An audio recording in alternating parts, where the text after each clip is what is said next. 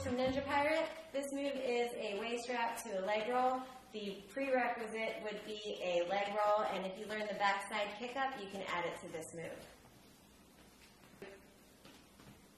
When doing a waist wrap to the leg roll, we're going to be utilizing this part just above your booty, right at the bottom of your sacrum, and leaning forward just a bit to start so that we can rotate the staff over our back and give it a place to do a 180 rotation.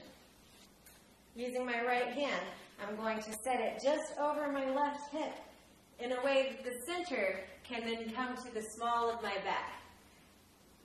The wick that's higher up on the right is going to pass over the back of my head from right to left. And the wick that was on the bottom is going to come up and around my hip so that the center point is on the same line as it was when we did the leg roll. Now with the left hand, again holding about three quarters or more of the way down, setting it on our right hip so that the left side is higher and can pass from left to right over our head. That bottom end can come around over top of our left hip, putting the center on the side of our left hip to start the leg roll down to the pinky toe side inside shin lock. Both times when I'm releasing for the waist wrap, I'm not releasing horizontally or vertically, but basically in the middle of the two in that wonk way,